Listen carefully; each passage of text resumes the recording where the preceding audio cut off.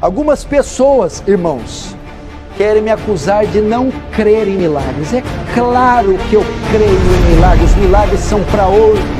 Eu mesmo já tive experiências de orar por pessoas e ser curadas. Eu creio em milagres, sim.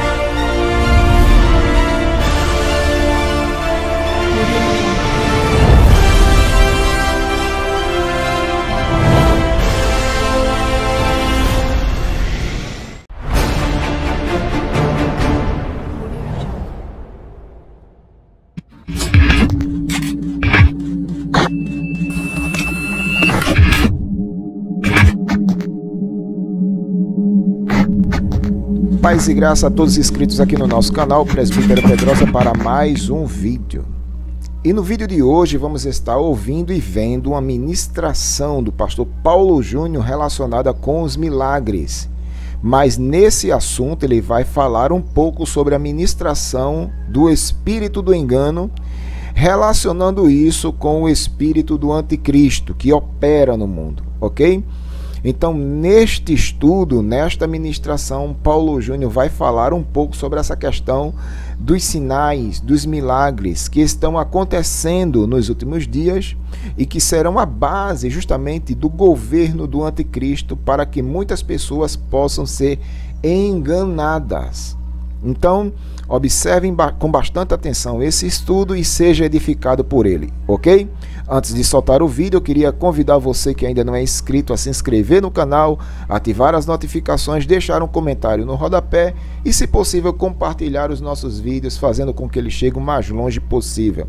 Bem como eu queria convidar você a se inscrever no nosso grupo de WhatsApp. O link estará na descrição deste vídeo. Sem mais delongas, sinta-se abençoado por este vídeo em nome de Jesus. O anticristo será controlado pelo diabo. O anticristo será controlado e atuará no poder, pelo poder de Satanás.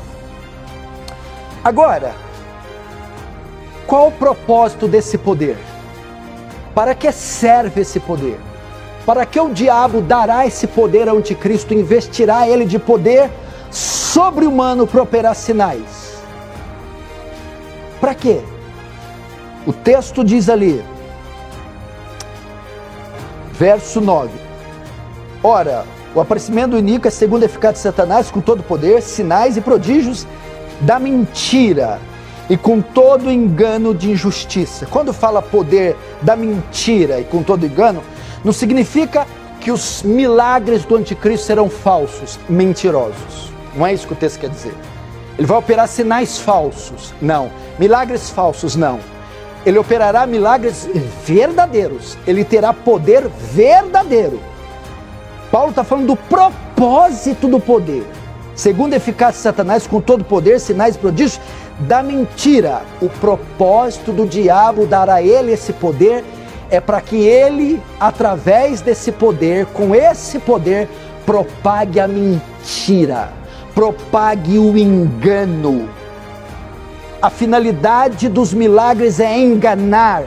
A finalidade dos prodígios é mentir, é promover o erro, é promover o engano e afastar esses homens ludibriados pelos milagres de Deus, da palavra de Deus, através da mentira.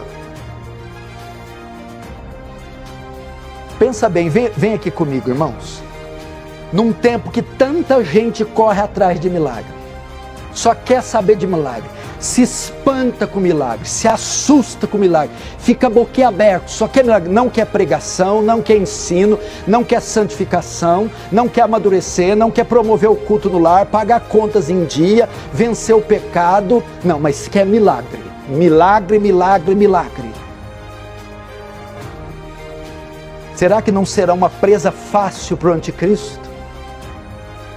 Cheio do poder, da eficácia de Satanás, operará milagres, mas com o fim de perverter a verdade, de enganar, de promover a mentira. E você vê tanto milagroeiro hoje, tanto milagre curandeirismo, para todos os lados. Será que isso não é promovido por Satanás? Algumas pessoas, irmãos, querem me acusar de não crer em milagres. É claro que eu creio em milagres, os milagres são para hoje. Eu mesmo já tive experiências de orar por pessoas e ser curadas. Eu creio em milagres, sim. Agora que eu não creio é no milagre pago, é no milagre cobrado, é no milagre de mil reais, cinco mil reais, dez mil reais. É no culto de milagre, milagre com hora marcada, milagre por atacado, milagre que custa um alto preço. Não! O milagre é operado pela soberania de Deus quando Ele quer, do modo que Ele quer, para promover o seu próprio nome, o seu próprio reino. Assim que acontece o milagre. Nesse tipo de milagre, você pode continuar crendo até o último dia da sua vida. A origem do seu poder vem do diabo. O propósito desse poder enganar. Enganar. Agora, o grupo de pessoas que vai ser enganado, a classe de pessoas, quem será enganado pelo anticristo nessa época? Quem será ludibriado com esses sinais, por esses sinais? Quem são o alvo, os alvos do anticristo? E cairão no laço, no engano, com esses sinais. O verso 10 diz: Com todo engano de injustiça aos que perecem, porque não acolheram o amor da verdade para serem salvos. Quem é esse? Aos que perecem e os que não acolheram o amor da verdade para serem salvos ele está falando aqui daqueles que durante toda a sua vida rejeitaram o Evangelho, rejeitaram a Deus, rejeitaram a lei de Deus, que rejeitaram a verdade. Paulo está se referindo aos ímpios. Satanás vai enganar os ímpios os que não querem compromisso com Deus, com a lei de Deus, esses serão todos levados pelo anticristo. Mas veja só, ímpios não são só aqueles que estão fora da igreja. Aqui também entra as virgens nécias, o joio, os falsos cristãos, os crentes nominais, as falsas religiões, meu irmão, a igreja falsa, aqueles que não acolheram a verdade, não acolheram o amor da verdade, aqueles que perecem nos pecados, aqueles que ocupam as cadeiras farisaicamente, esses serão todos enganados pelo anticristo que operará sinais vindos do diabo que enganarão essa classe de pessoas. Enganarão. Quanta gente não vai ser enganada? A Bíblia diz que surgirão muitos falsos profetas que enganarão a muitos. Se os falsos profetas genericamente enganarão a muitos. Imagina o último falso profeta, o falso dos falsos, o, o, o último, o poderoso. Quanta gente não vai ser ludibriada? Agora, isso ocorrerá por permissão de Deus e por decreto de Deus. Verso 11: É por esse motivo que motivo? Oh, é por esse motivo que Deus lhes manda a operação do erro. Que motivo?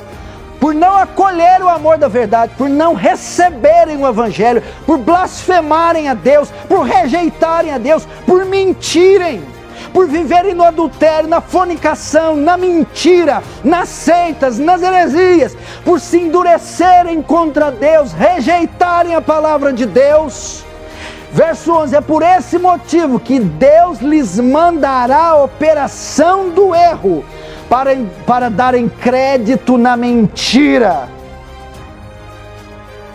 A consequência, meu irmão, de rejeitar a verdade, Deus os, endure, os, os endurecerá, e não haverá graça que restringirá o mal deles, e serão abocanhados pelo anticristo. Enviar a operação do erro é Deus endurecê-los, Deus cegá-los, Deus impedir que enxerguem e vejam a verdade. Então não terão nenhuma dificuldade de adorar o anticristo, de servi-lo. Não terão nenhuma dificuldade, não conseguirão discerni-lo, porque Deus enviará cegueira sobre eles. E por que enviará? Porque rejeitaram o filho, o evangelho verdadeiro, porque tendo comichão no ouvido não querem a sã doutrina, querem amontoar doutores, segundo a sua concupiscência. E por Deus enviar a operação do erro, endurecer o coração, por essa razão, darão crédito à mentira. Para darem crédito à mentira, serão enganados. Agora vejam as consequências para os adoradores da besta, do falso profeta, do anticristo, aqueles que têm a marca na mão ou na testa. As consequências, verso 12: a fim de serem julgados todos quantos não deram créditos à verdade. Antes, pelo contrário, deleitaram-se com a injustiça. Por incrível que pareça, hoje, hoje existem homens que se deleitam na injustiça. E qual a consequência deles? Serão julgados. Serão julgados. Aqui apresenta duas formas de julgamento. Esses que foram ludibriados pelo, pelos sinais do anticristo e os seguiram, por terem os corações duros, duros e por terem rejeitado o evangelho, receberão duas formas de julgamento. Aqueles que estiverem vivos aqui nesse tempo sofrerão as taças da ira de Deus quando a igreja for tirada. Os adoradores da besta estarão aqui e experimentarão os flagelos de Deus na íntegra, de forma que eles procurarão a morte e a morte fugirá deles.